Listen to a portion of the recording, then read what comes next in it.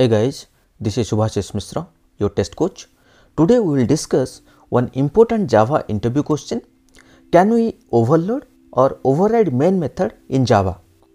This is a very basic and fundamental question. You may get this question during your Java Selenium test automation interview. I will explain everything in detail.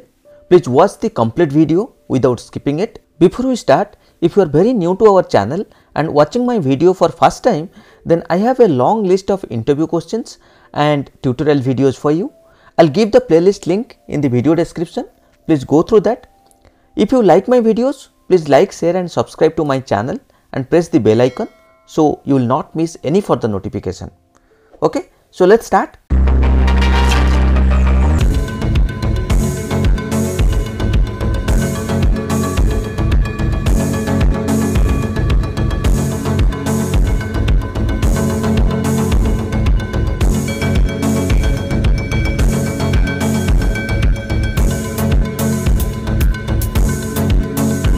First we will understand if we can overload main method in Java, then we will see about override.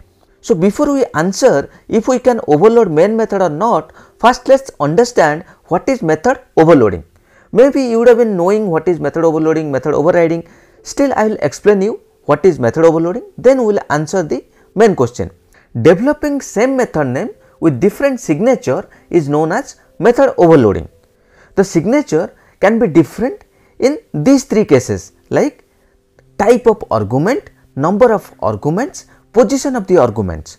So, if I will show you one example right. So, here you can see one method as sum method.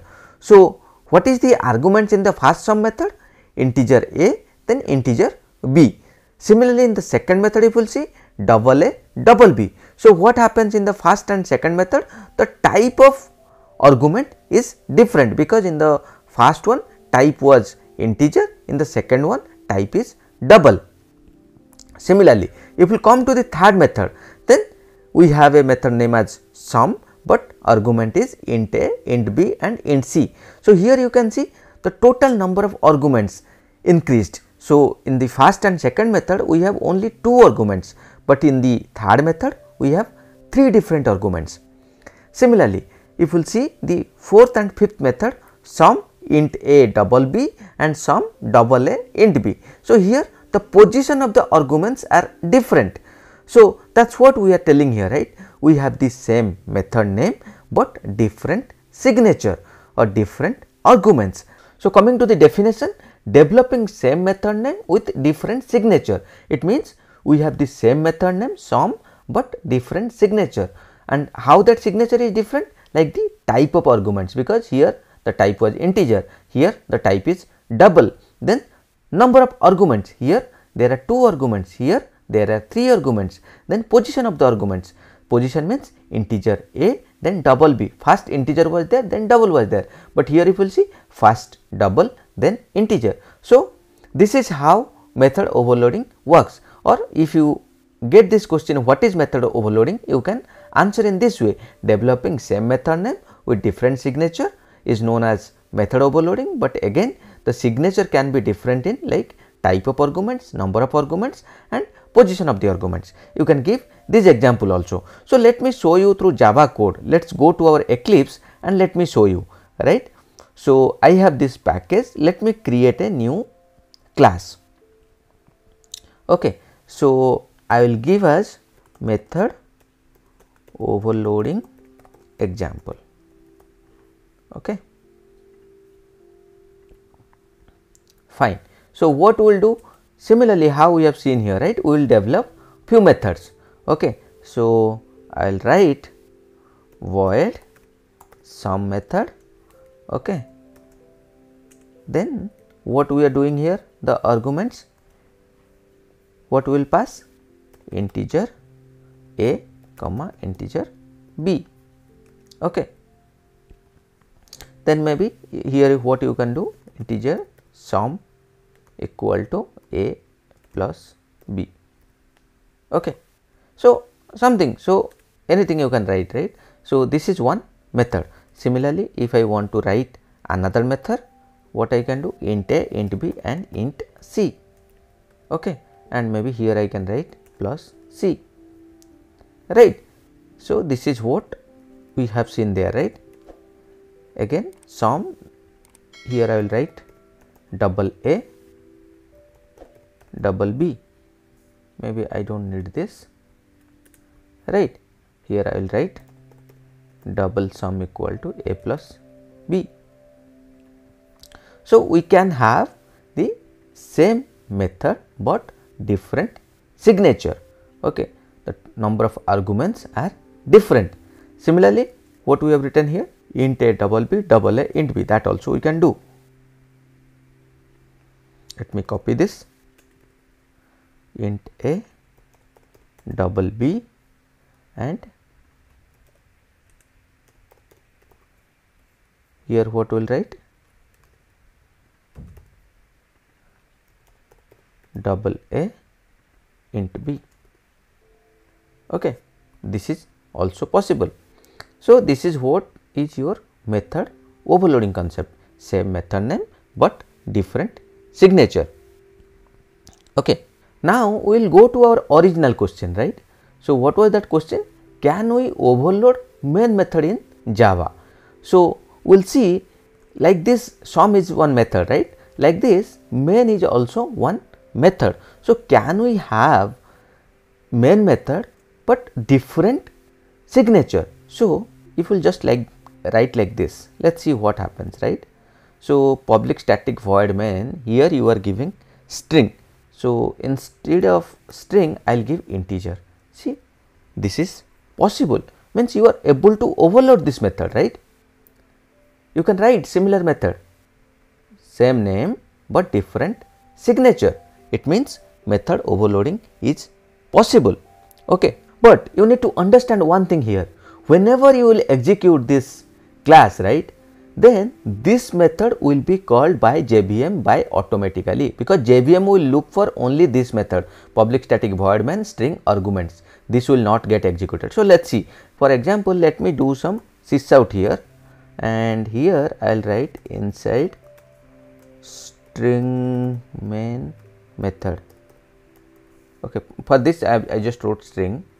Maybe similarly here I will write inside int okay. And let us execute. Let us see which one is getting executed by default. See this got executed. Right? So maybe you will have one more question. Then how you will execute this method if we want to execute.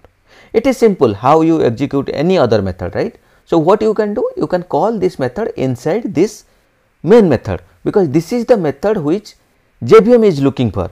So, how you can do that? You can write main okay then what you can write? New integer. Then what are those values? For example 1 comma 2 comma 3 okay. So, this method is getting called. Right. Now, let us execute this.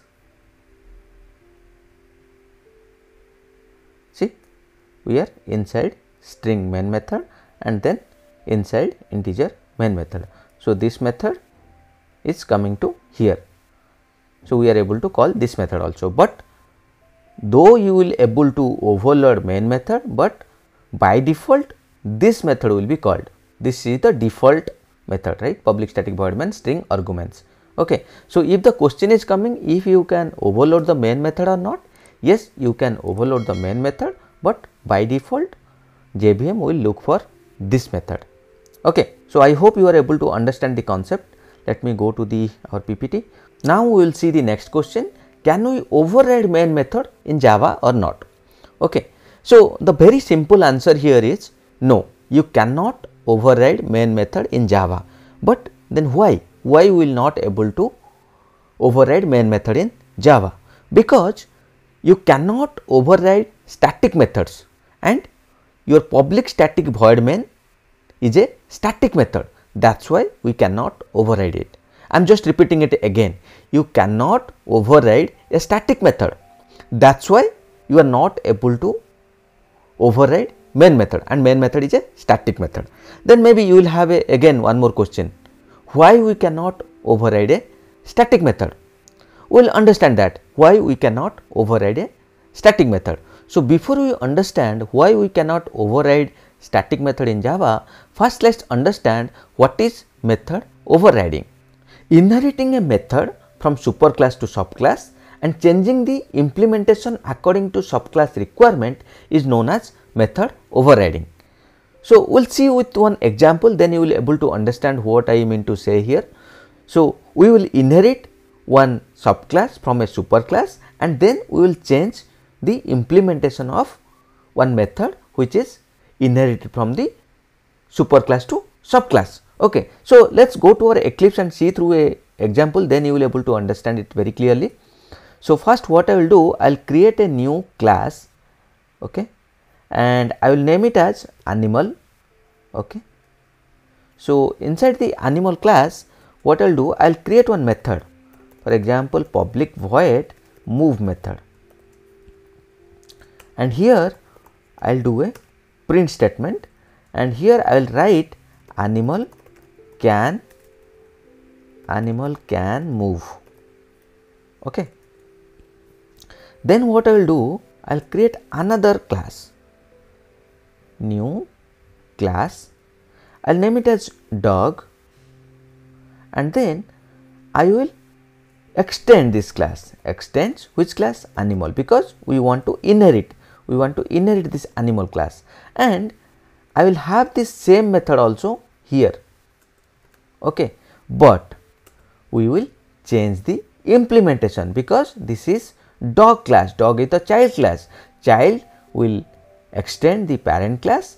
Again the move method is coming from there also here also. But he is changing the implementation logic. So i'll write here dog can move and run. Okay or dog can run and jump. Okay so i change the implementation. Then what we'll do? We'll create one test class. Okay. And here what we will do? We will write means we will create some object. Okay animal a is equal to new animal okay so here we created one object and referring to this animal class Similarly, we will create another object animal b is equal to new here we will give the object of dog class. Okay. Then finally, what we will do? We will do a dot move okay, and b dot move. Okay. And let us execute now. So, you see this one printed the method from the animal class like animal can move and this one printed the method from dog class. Why it happened? So, if you will see here right the object and reference is both for the animal class, but if you will see here the reference we are creating for the animal, but object we are creating for the dog class. That is why even though B is the object of type animal, it runs the move method in the dog class. Okay. So, the reason for this is in compile time the check is made on the reference type. However, in the runtime JVM figures out the object type and would run the method that belongs to that particular object.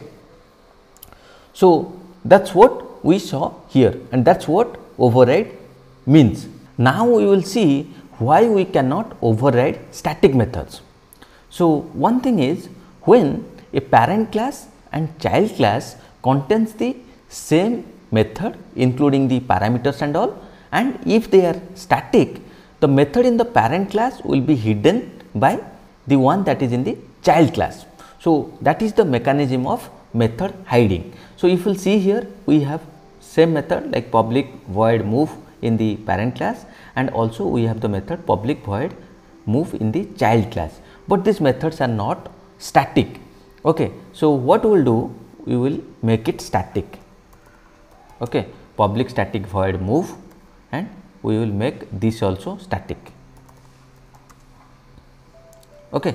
So, both the methods are static now. Now, we will also create one non-static method. Okay. So, let me just copy paste and here I will write I will not make it static and the method I will make it as sound method. Okay. Animal can sound can make sound. Okay. Let us create this same method in the child class also and here we will make dog can bark. Okay. So, now we have two methods same methods in the parent class same method in the child class, but one is static one is non-static. Now, we will see how data hiding is happening right. So, here we have uh, previously we have created these objects right. So, what I will do I will just comment out this one. Okay animal a equal to new animal. Now i have only one animal b equal to new dog. So we are referencing to the dog object. Okay animal reference and dog object. Then we have only one object. So what i will do i will just write b dot move and b dot sound. I will call these two methods so what is your understanding here which things it should call means what it will print? It will print in the first one it will print for the move method right. Will it print this one or will it print this one and in the second for, for the sound it will print this or it will print this. So, that is what we need to see. Let us execute and see right. Run as Java application. So, here you can see animal can move, dog can bark. So, this move method pointed to this animal class whereas this sound method pointed to the dog class. As per the overriding rule, this should call the child class overridden method, but that method is static. That is why it did not call the child class overridden method, it called the parent class overridden method that is this one and this one is static. But in this case what happened? It called the child class one, this this one right because this is not static. So, that is why we are telling right we cannot override static method. Now, I hope you understand why we cannot override the static method because of this right. You saw the example in move it is getting the value from the parent class, but in the sound it is getting the value from child class. So, now we understood we cannot override static method and this public static void main. So, this main method here you can static right. So, main method is also a static method that is why we cannot override a static method. So, let us go to the final conclusion and we will see the answer. Can we overload or override main method in Java? Yes, we can overload the main method in Java, but when we execute the class JVM starts execution with public static void main string arguments method. This is very very important to remember. Other thing is no we cannot override static methods since the public static void main method is static and we cannot override it. Also we saw why we cannot override static method. That is all for today. I hope this video is helpful for you. Thank you. If you have any questions, please let me know in the comment section. I will try to explain it. Please like, share and subscribe to my channel.